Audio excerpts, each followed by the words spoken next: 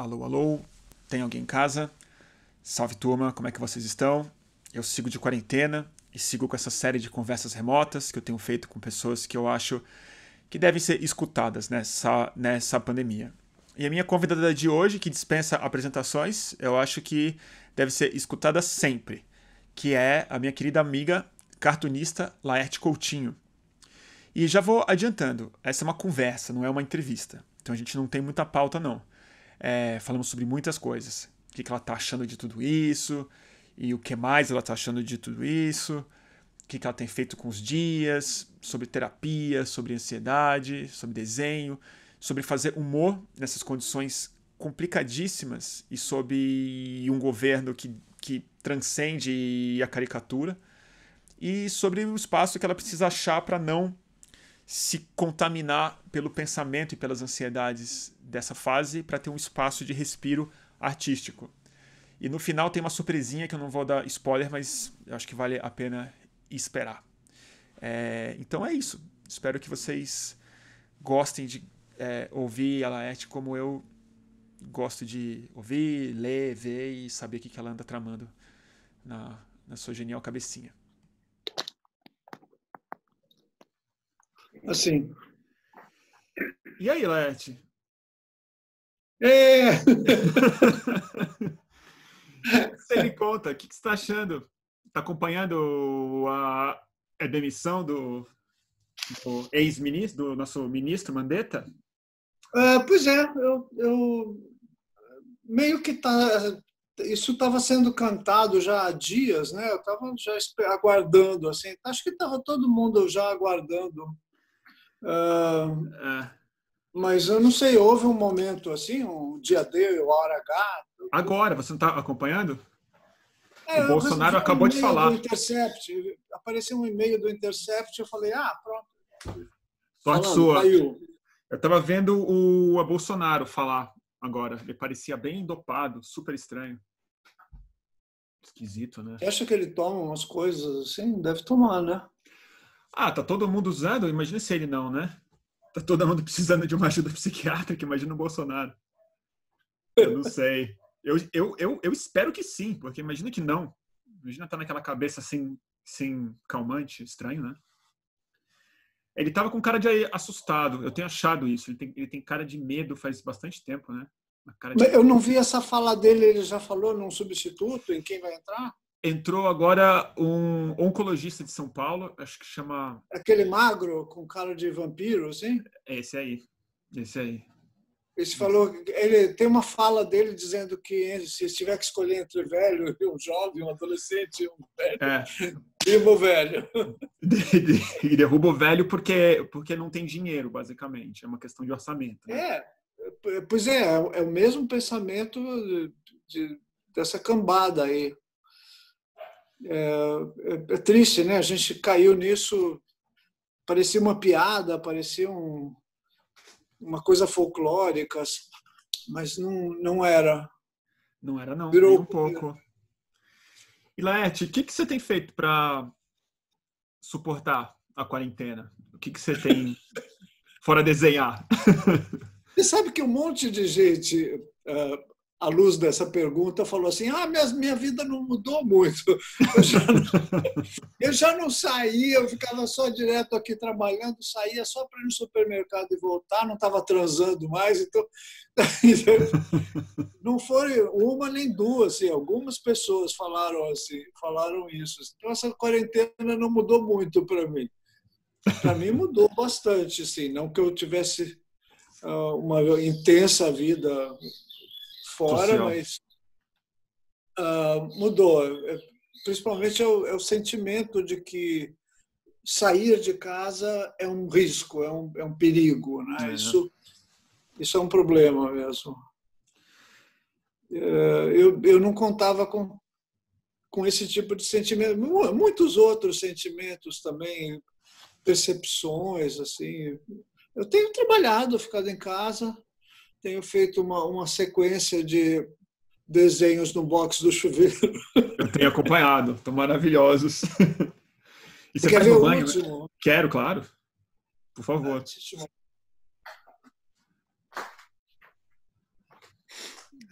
Ficou bonitinho. Deixa eu...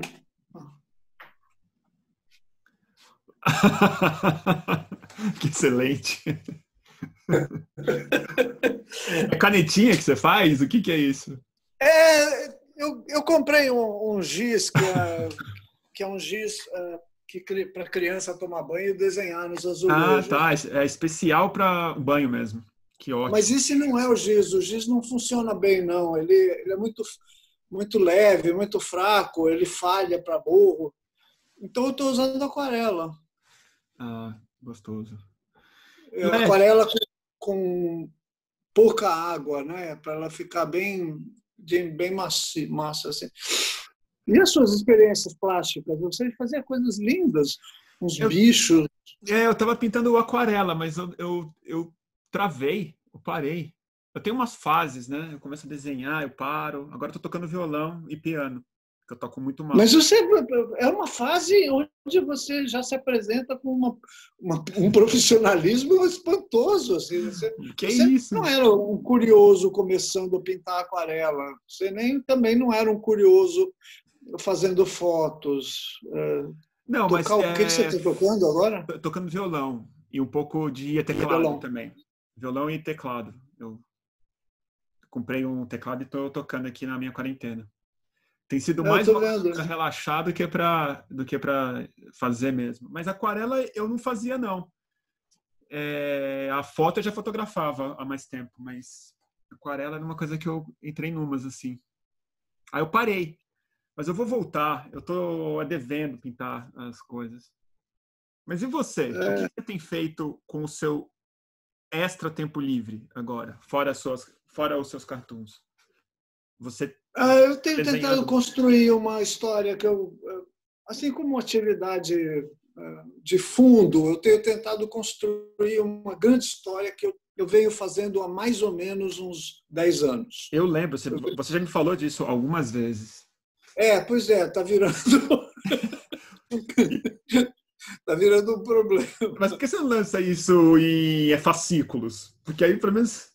Pelo menos não, não, a gente vai não vendo. É o fascículo, o problema é resolver a estrutura dela. Eu tenho hum. aqui, eu, eu, preenchi quase 400 páginas de, de rabiscos de, de história. Ela está estruturada tá. Uh, mas aí eu cheguei à conclusão que não, não era boa, essa, não ficou bom, não ficou bom. Hum. Por vários motivos que, sei lá, eu, são coisas que eu tenho pensado. Aí eu estou tentando construir, sem jogar fora aquela, né? sem jogar aquelas ideias todas fora, construir um, uma outra proposta, assim, uma outra história. Não sei se estão cumprida, mas então vamos ter que esperar mais 10 anos, é isso que você está me falando? Vocês não precisam esperar, vocês podem. Agora de quarentena é que eu espero mesmo, porque eu já estou esperando isso já tem muito tempo, Lete. E principalmente, não eu não tô, eu não interrompi a minha, minha produção de, claro. de tiras, né, de histórias para fazer essa história. Eu, tô, eu continuo fazendo.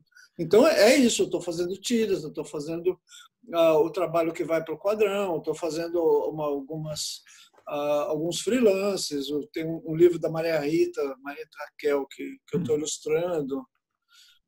Uh, tem uns projetos, uns projetões também. Estou tentando ler o livro da Laura Carvalho, A Valsa Brasileira. Ah, que bom. Deixa eu perguntar, mudou alguma coisa na. Fico assistindo é... o boletim do fim do compartilha, né? Fico super feliz quando você compartilha. Estou animado. Mas, Muitas vezes eu compartilho sem ver, diga. É difícil fazer é, piada com, com o que a gente está passando, porque a coisa vai ficar um pouco mais sombria logo, né? Você acha especialmente delicado? Você pensa muito nisso ou não? Ah, o, o André Damer outro dia fez uma tira que era assim: Pensem nisso. Um, um mundo que é ótimo para nós chargistas é péssimo para vocês. é, é, é, uma ótima piada, mas, é ótima não é exatamente o modo como um chargista trabalha. Claro.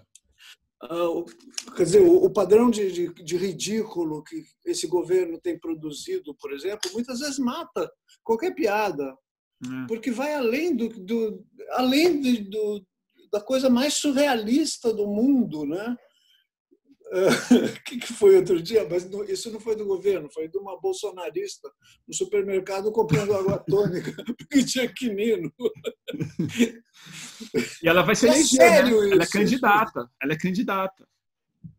Você não sabe mais se a pessoa está tirando uma, se está fazendo uma, uma, coisa altamente irônica, ou se é para valer. Então, tem uma fronteira entre o que é piada e o que não é piada que foi para o Beleléu. Uma das coisas que, que, eu, que, que eu peguei dessas teorias a respeito do humor e tudo era isso.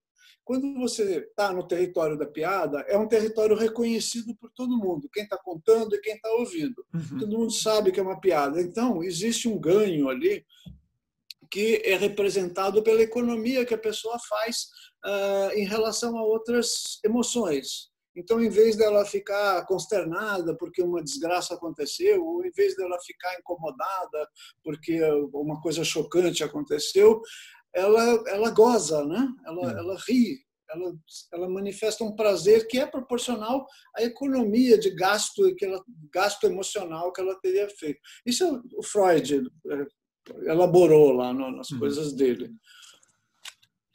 Ah, estou vendo séries também, tem uma série do Freud. Bom, aí o que, que acontece num, num, momento como esse, por exemplo, quando uh, essa fronteira foi embora? Você não sabe mais se a pessoa está tirando uma ou não.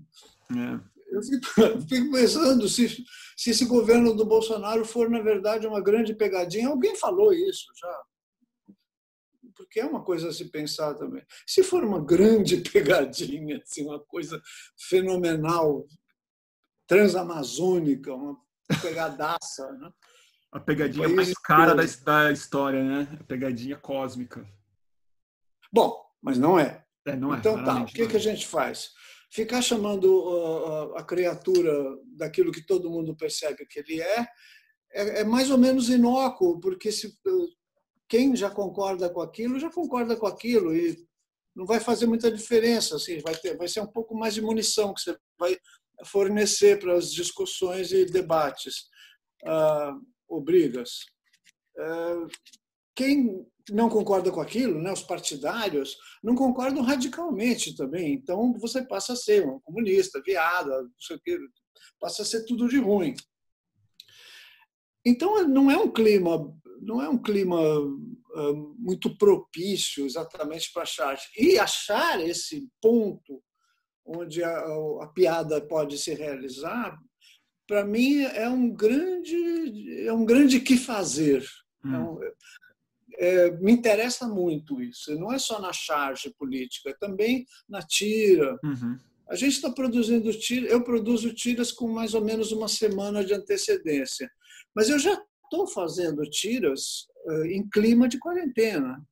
As uhum. ideias são sintonizadas com um ambiente onde as pessoas estão eh, submetidas a isso. Isso faz parte de um, de um contexto que pega todo mundo. Então não adianta você fazer uma tira uh, polivalente demais, assim, porque ela vai ser lida com um filtro claro. de quem está vivendo a quarentena.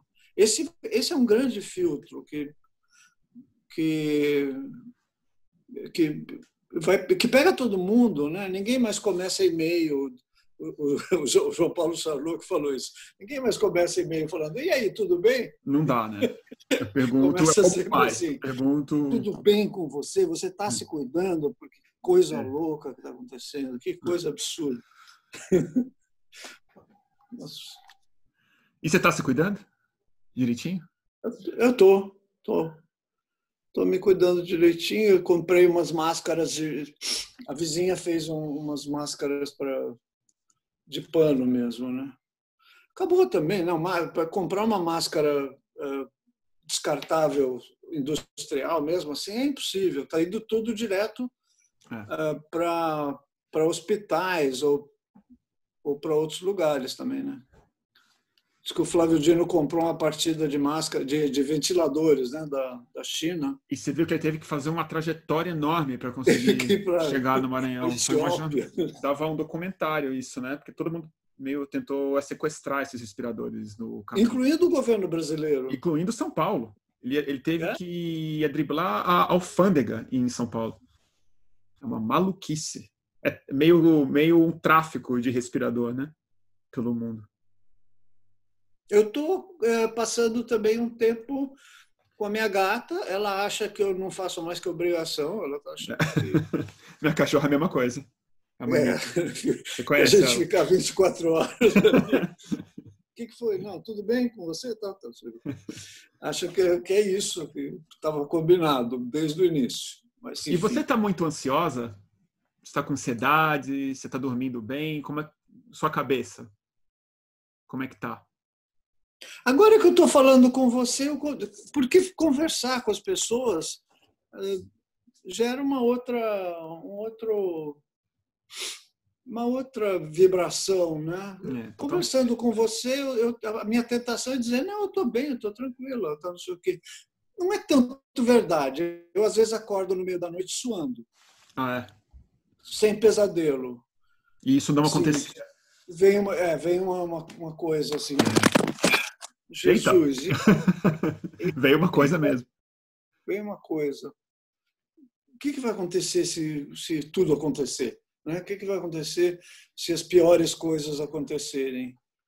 Para onde eu corro? Quem que eu tento salvar primeiro dos meus, dos meus queridos aqui? Os adolescentes ou os velhinhos?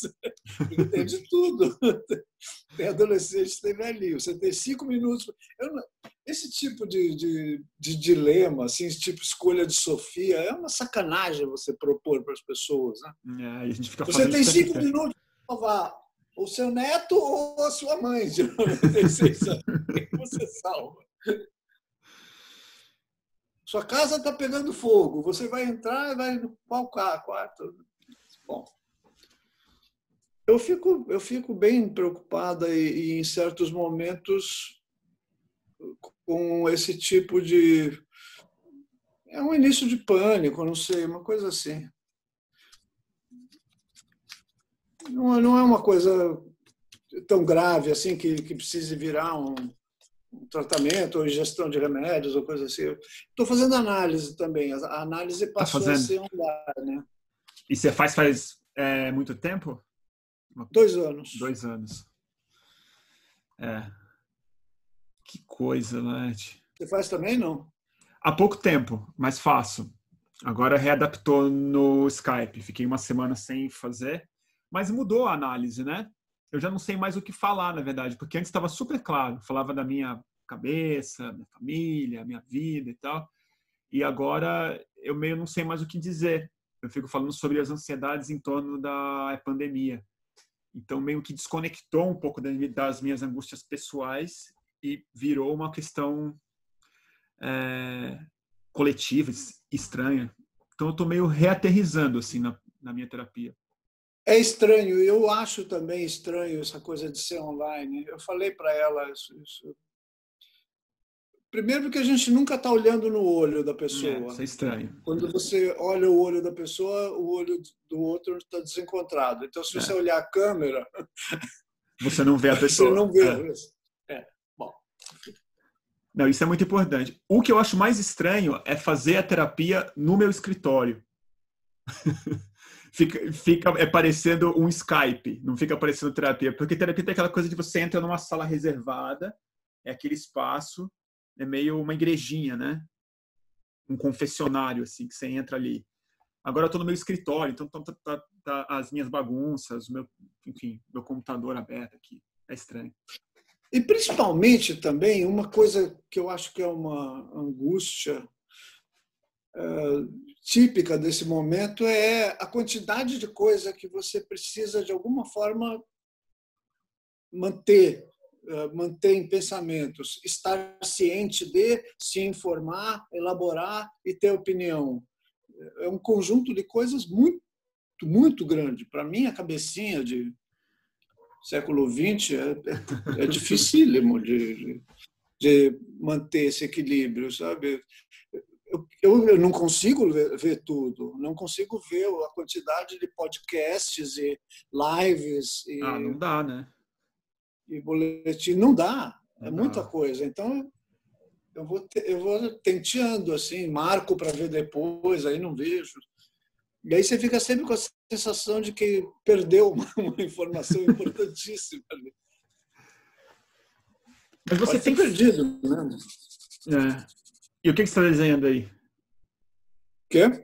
E o que, que você está desenhando aí? Mostra pra gente. Ah, estou tomando notas de, de coisas, desenhando uma mãozinha aqui. O Bolsonaro, que às vezes ele, ele pega e faz uns riscos. Ele faz uns Hoje, no meio da coletiva, ele recebeu um é, bilhetinho. Aí ele parou, ficou olhando, ele olhou com uma cara meio tensa, assim, seguindo. recebeu o Carluxo mandou para ele. Um correio elegante. Acho que foi algum tweet que imprimiram para ele e mandaram. E, e, e, e umas ideias que tem, que tem então, muita, muitas iniciativas de uh, juntar fundos de solidariedade, arrumar, uh, arrumar como é se chama, kit de, kit de higiene e cesta básica para um monte de gente, tal, tal. várias, várias, várias iniciativas. Aí você vê tantas iniciativas e fica pensando, bom, o pessoal deve estar sendo abastecido. Não, não está. Tá. Não tá. Isso, é, não, não faz nem cosquinha. Não, isso assim ajuda, porque quem é. Não, né, sim, a ajuda. pessoa que recebe é, faz toda a diferença do mundo, mas a escala do problema é tão grande, né? Que... Acho que foi a Rosana Pinheiro que uh, contou do, de como os evangélicos estão nessa. Bom, os evangélicos, de um modo geral, sempre estiveram né, sempre, nesse, sempre fizeram nessa isso. área de atendimento à precariedade, assim, nas prisões, Sim, no, prisão, na Cracolândia, não sei o quê. Nos e próprios bairros também. Né? Nos bairros, no desemprego, tudo, eles estão lá. Pois é. E o que, que tem te chamado mais a atenção no comportamento social, assim, no que você tem visto em rede social? Você acha que as pessoas estão estão pirando de que forma? É, é, um, é um tipo de coisa que já vinha acontecendo antes da pandemia, que é uh, eu fico com receio de usar termos como politicamente correto ou incorretos, mas é um uhum. certo pânico em relação a termos e em relação a, coisas que, que são ditas. Eu acho que uma boa, um bom exemplo disso é o BBB, o Big Brother. Eu não assisto uhum. Big Brother porque eu nunca assisti, nunca achei sentido naquilo, tá, tá. Mas eu acompanho as pessoas que, que acompanham é, o BBB. Eu também. É inevitável, né? Pois é, é inevitável. Eu vejo pelo mas... Twitter, não, não tenho o que fazer. Eu sei quem eles são, mas eu não tenho a menor ideia da cara deles, é muito louco. E eu fico pensando nesse rigor, uh, um rigor enorme com posturas, com uh, códigos que precisam ser exatamente daquele jeito e não de outro, com uma falta de flexibilidade para entender para entender como é que as coisas se dão. As coisas não são assim. Uh, não são em linha reta, né? Eu vou dizer uma coisa aqui que eu não sei se eu devia dizer. Mas... Agora já foi. Uh, há um tempo atrás, a gente ia fazer uma coletânea de histórias de Los Três Amigos. E hum. acabamos desistindo em função dessa, dessa deste problema. A gente achou que não ia existir um território mais ou menos civilizado para uma para o contexto um debate do, solto para você três amigos. O que acontecia naquela época, o que eram os anos 80, o que eram os anos 90, o que é hoje, babá. Então, eu acho que isso é um problema, assim, que está agudo agora, está mais agudo agora, mas já vinha se apresentando antes da pandemia. E você acha que está mais agudo na pandemia? Porque eu tive a sensação contrária quase. Eu estava achando que arrefeceu um pouco porque entrou uma coisa muito mais importante do que a questão dos termos e, da, e do léxico e tal. Você acha? Eu não sei, é, então, possivelmente seja algo que eu espero que seja, que seja verdade e eu não estou prestando muita atenção. Mas é porque na não, minha cabeça acha, aparece. Eu vou passar achar também. eu tenho o contrário. Em geral, eu acho que você acha. Então eu mudo de opinião. Se você está achando também, Laerte. Você sabe, né? Mentira, você fala cada coisa, meu. Não sei se você presta atenção no que você fala. Aliás, eu, eu não presto muito, devia... não. Mas você fala umas coisas incríveis. Imagina. Teve uma, teve uma que você falou sobre o que é a visão do mal. É, o que distingue a visão do mal dos, dos, dos católicos e dos, uh, evangélicos. evangélicos. Eu caí para trás, dura, estou até hoje com essa história. Assim, que coisa, é uma belíssima sacada. Assim, só. É, eu acho que isso só, define só bem... tortura. Sei lá, eu. É, Laerte. E que mais, hein? Acabou o assunto. Não, essa é a minha entrevista. Na verdade, isso não é entrevista, né? Eu ligo para as pessoas para perguntar o que, elas estão achando, na verdade, porque eu não tenho muita entrevista para fazer nessa altura do campeonato mais. Pois é. Tão escancarado. Eu, eu fico me sentindo como alguém que devesse ter uma resposta. Quando você pergunta assim, e que mais? Eu deveria ter uma, uma, eu, ia, eu deveria mostrar agora aquela história do Lavô tá novo. Né? Não, mas a gente ah, perguntar disso, então, é, porque assim, tem essa coisa agora que está acontecendo que está todo mundo falando, 100% das pessoas falando que o mundo vai mudar. E todo mundo esperando que o mundo vai mudar para melhor. Queria saber a sua sensação em relação a isso, assim, para onde você acha que a gente parece estar indo diante de uma situação como essa? Não, eu acho que tem, tem por que mudar e tem para onde mudar, eu acho. Não sei se vai mudar, porque depende de uma quantidade de coisas absurdas.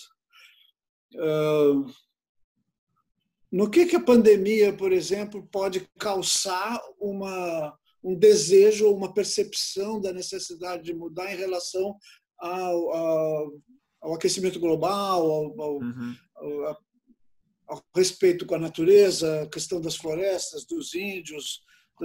Como, no que, que essa pandemia pode ajudar a mudar numa boa direção isso? Não é claro, não. não, não a é. gente fica muito mais na área do desejo. Eu tenho esse desejo e uh, espero que, que consiga, de alguma forma, ajudar nessa direção. É, eu também Mas acho é isso muito. Eu acho que, na verdade, ele é só um significante, assim, que as pessoas projetam nele o que as pessoas esperam que o mundo seja. Porque do mesmo jeito que os ambientalistas, os socialistas estão falando isso, que agora o é, capitalismo vai acabar, ou que a gente vai entender a mudança climática, o supremacista branco está achando que agora é hora do é genocídio, o evangélico fanático está achando que é hora da segunda vinda de Cristo, espíritas que olham então, da, desencarnação total. Então, tem sei. uma tem uma, uma linha do pensamento evangélico que é como é que se chama isso? Tem uma escatologia pronta é. aí assim, né? o, o mundo não é que não vai acabar. Ele precisa caminhar nessa direção, porque isso, de alguma forma, está escrito. Muito é. bom. É o desfecho. Né?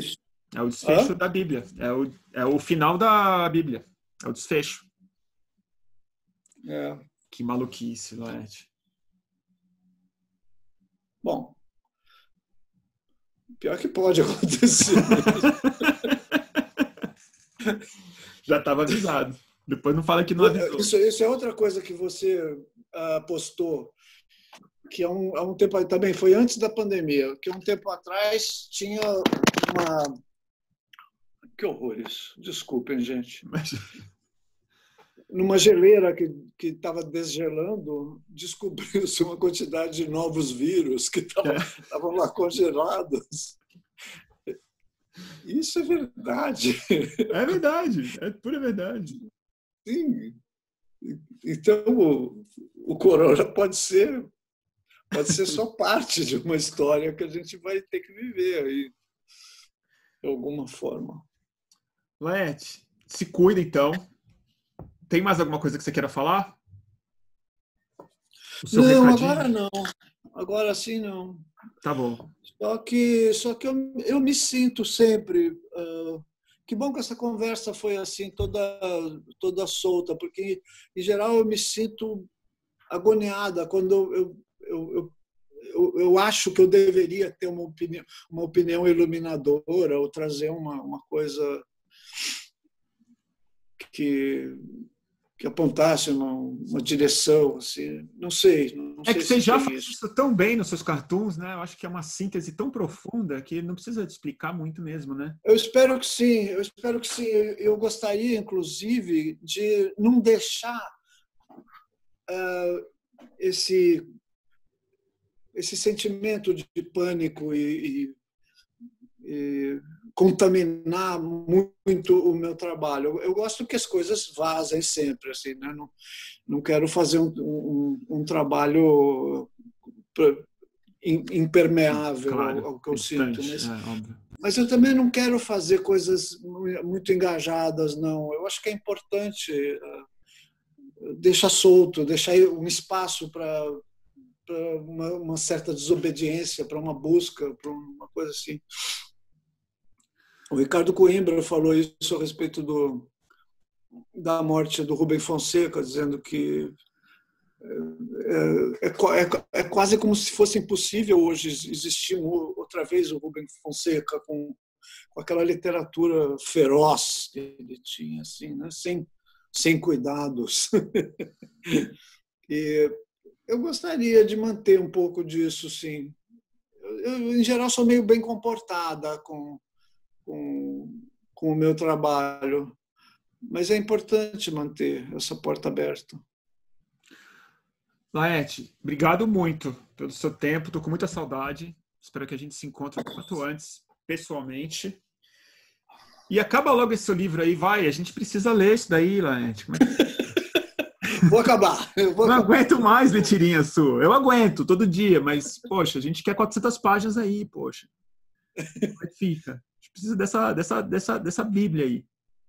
É, acho que vai sair, acho que vai sair menor. Acho que não vai sair 400 não. Tava uma coisa meio uh, meio pretensiosa também, sabe? Ah, para, vai, duvido. Duvido. É, porque tem coisas que não são da minha, da minha alçada. Fazer uma história realista, testemunho de um tempo, parari, parará, não, não é muito isso uh, a minha praia, né? Então eu estou eu tô procurando uh, acertar essa ideia que é um anseio que eu tenho há muitos anos com a minha praia, com o que eu conheço do, é, do que eu faço. Assim. Tá bom. E piano? Obrigada. Tá tocando piano? Tá tocando piano? Muito mal. ah, então toca um pouquinho, vai. Au! Toca alguma coisa pra gente ouvir. Então, pera um pouquinho, que eu tô descendo a escada e tá escuro lá embaixo. Oba, cuidado na escada. Espero não ir. Não.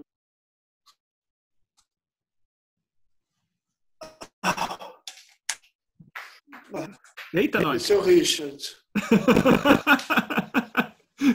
que susto que você me deu. Ele piscou na tela, Richard.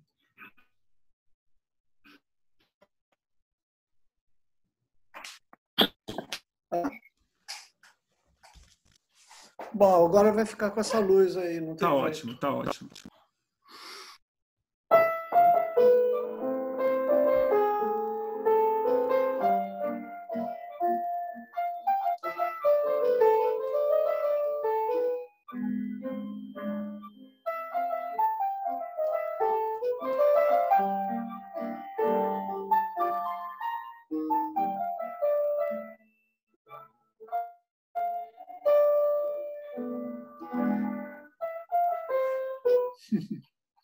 para ouvir?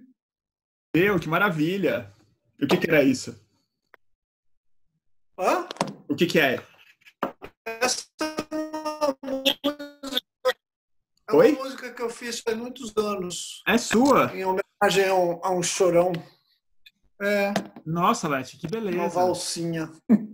Nossa, que lindeza. Antiga, né? Que coisa antiga. Em homenagem a um chorão, nossa, comovi.